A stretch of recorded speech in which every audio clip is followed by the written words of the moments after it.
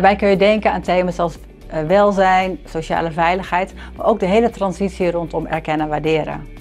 En om deze transitie, deze cultuurverandering vorm te geven, hebben we goed leiderschap nodig. En daarom investeren wij in een goed leiderschapsprogramma.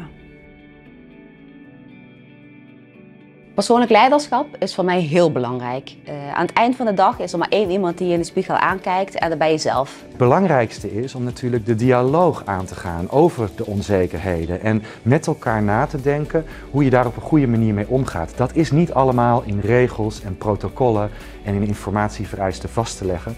Dat vraagt echt een goed gesprek.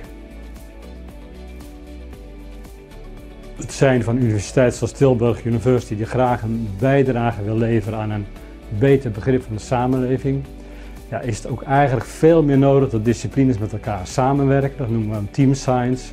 Dus je hebt ook team spirit nodig, ook over de grenzen van departementen en afdelingen heen. Uh, dus goed leiderschap. Bij goed leiderschap hoort echt die aandacht voor sociale veiligheid. Hoort ook reflectie op wat doe je zelf. Ik zei al eerder, het hoort ook fouten maken bij. Dus denk niet als leidinggevende, ik, doe, ik mag geen fout maken, want dan verkramp je. Maar wees je er wel van bewust uh, ja, hoe je ook zelf uh, je gedrag vertoont.